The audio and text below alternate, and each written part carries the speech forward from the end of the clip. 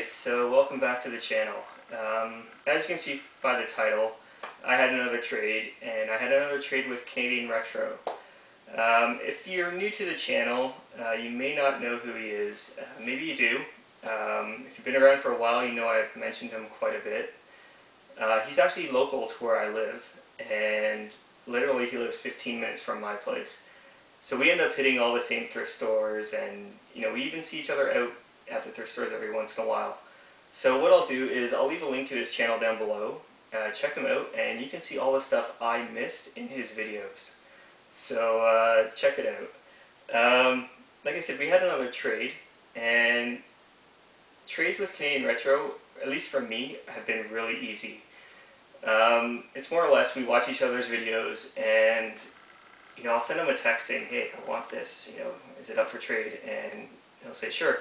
And then I'll send him a picture of what I have to trade, and he'll just pick something out, and that's kind of how it is. so uh, uh, that's how this trade worked out, actually. And uh, what I ended up getting off him was the strategy guide for Pokemon Heart Gold and Soul Silver. And you may be asking yourself, why did you pick this up? Because Pokemon's not really in my demographics. So um, there's kind of two reasons why I picked this up, and you could probably imagine what the two reasons are. I actually have um, Pokemon Soul Silver and Pokemon Heart Gold.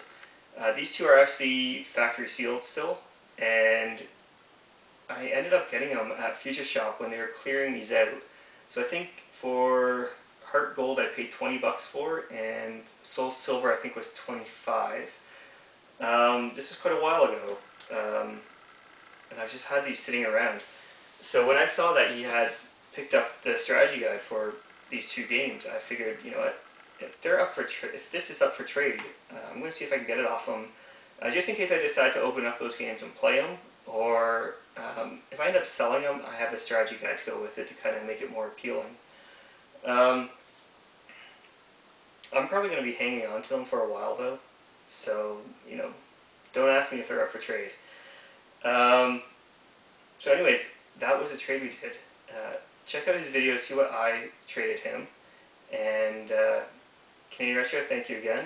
Uh, till next time, everyone, take care.